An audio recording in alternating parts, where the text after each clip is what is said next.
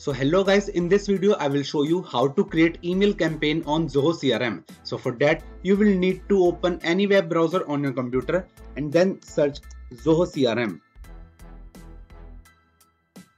Now select the first website. Log into your account right here. After that select the profile icon. Now select access Zoho CRM. Now go with this settings icon and select Zoho option. Now scroll down until you guys see this section of Zoho campaigns. Now select its manage button. Select this sync now button. Now guys you will get on this page. Now select campaigns and select email campaigns. Now you have to select this create campaign button. You can see this option right here. Now just select OK got it and you can choose from one of these options so let's go with the regular email and select its create new button. Now guys, you have to choose a campaign name for yourself. We'll go with Mike and select your topic name. You can choose brand topics or marketing. We'll go with marketing and now set uh, save and proceed button.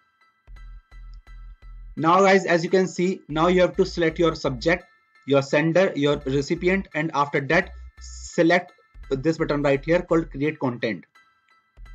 And after doing all of that things you guys need to select one of these options. And from that option you guys write down your content of your email campaign. So let's go with the basic templates. So again guys you have to select one of these options right here that are uh, available to you. We'll go with one column. And now select this use this template